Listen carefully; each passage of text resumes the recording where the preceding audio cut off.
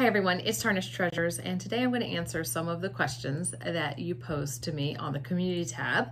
The other night, I don't know what it was, I got this whim. I said, what questions do you have for me if I were to do a Q&A?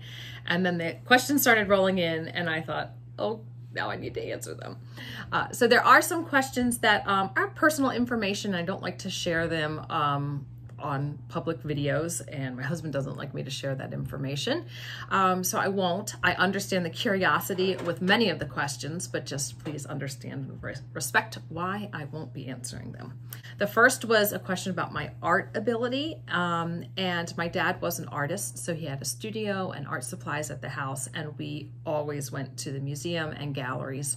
So I was just surrounded by it and really enjoyed it. She also asks if I have a piece of art from my childhood, and yes, this is my first clay sculpture from first grade. It is a brown cow. It is missing an ear. I think it fell on my parents' deck.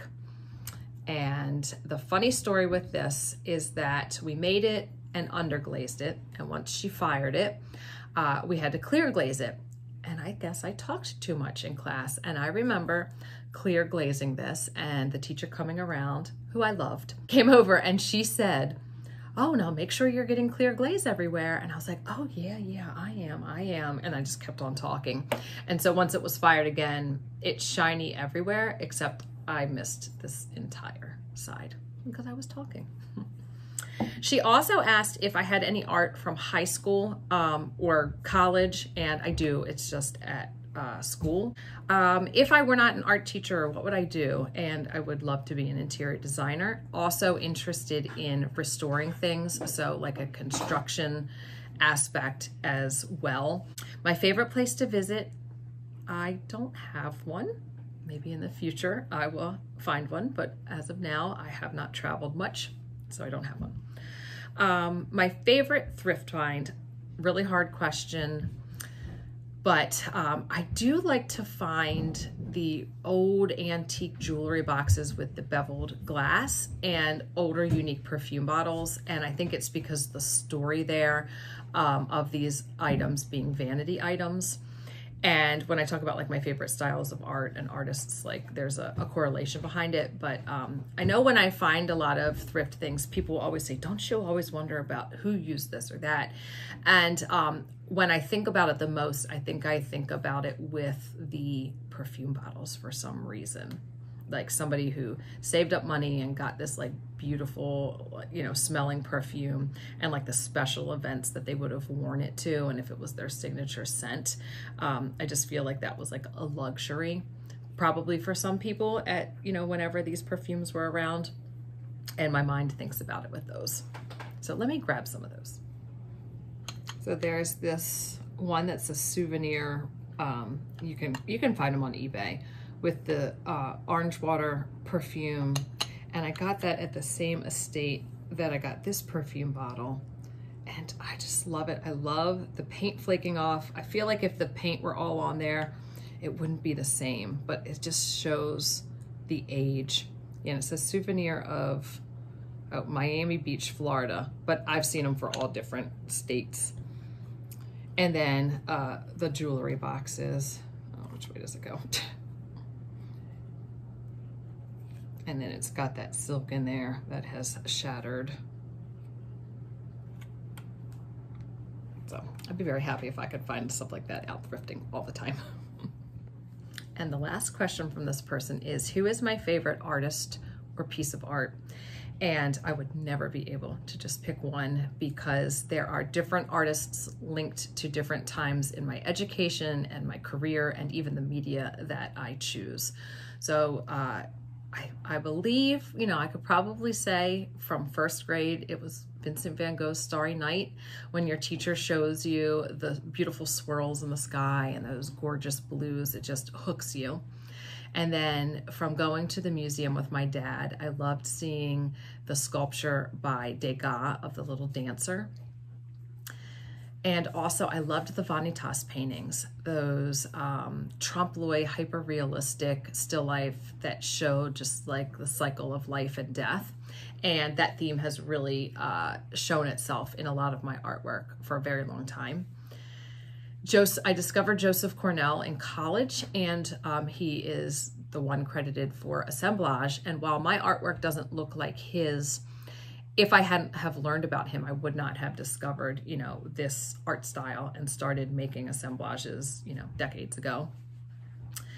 I also really liked, um, and still do, you don't stop liking artists, um, Andrew Wyeth and Christina's World, and then being able to go to his museum and see his last tempera called Goodbye. And more recently, interested in performance art and um, an artist, uh, Marina Abramovich. I always have to say it slow. and her piece, The Artist is Present. Um, and I could go on and on and on, but um, a lot of those are well-known artists and artwork. And it's because when I was learning, we didn't have the internet. So you had books and you had museums. And now you can go on Instagram and Google and see art from every corner of the world, which is wonderful, but a little overwhelming. Um, so sometimes I try and avoid that so I don't get overwhelmed. Okay, so moving on to a new person and a new question. Will I ever make a book of my art compositions to sell? And years ago, I actually had started because there was some website online that you could put pictures and text into to create your own book. But whatever their templates were just weren't easy for me to format and do what I wanted to do. So I just kind of got frustrated and gave up. Um, and now it's years and years and years later. I'm sure that there's a site that's easier to use, but now it's more of the time to do it.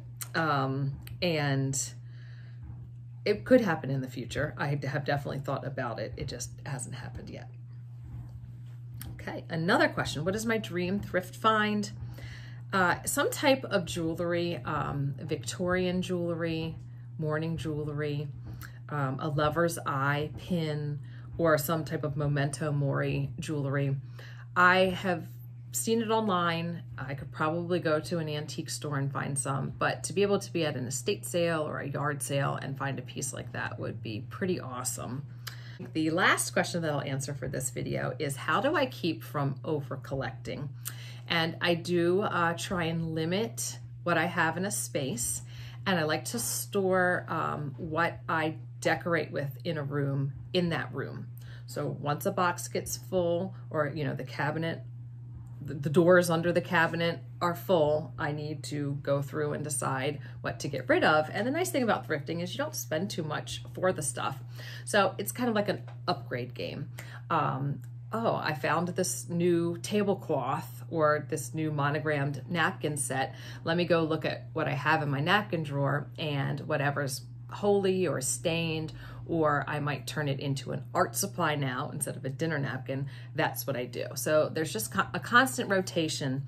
And I think if you thrift, you understand that, that upgrade game.